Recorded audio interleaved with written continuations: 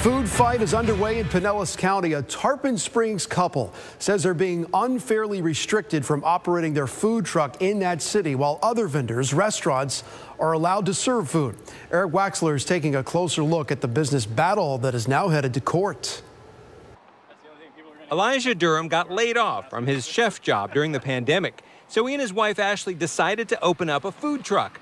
They wanted to operate in their hometown of Tarpon Springs. We picked that town because it was a smaller town. We wanted to raise our kids there. State lawmakers had just passed a bill preventing local governments from banning food trucks. The plan was to set up the Soul Burger truck three to four days a week at Brighter Days Brewery. We thought that creating a food truck where we could get locally sourced meat, locally sourced bread, locally sourced produce, and do something that most people aren't doing. It's not just opening a food truck, it's trying to open the best food truck. But shortly after they opened, the City Commission passed an ordinance limiting food trucks from operating even on private property in most of the city. Only food trucks owned by restaurants are allowed. The Durhams have been fighting back, and now, with the help of the nonprofit Institute for Justice, they are taking Tarpon Springs to court.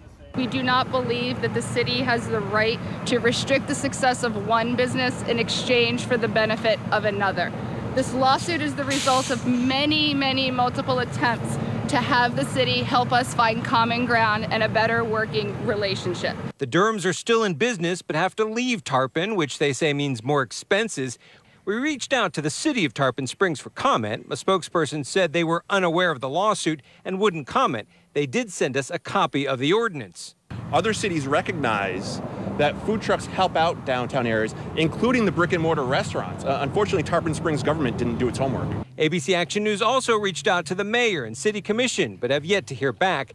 The Institute for Justice says they've successfully challenged food truck restrictions in other cities, including Fort Pierce. In Tarpon Springs, Eric Waxler, ABC Action News. Today, authorities say new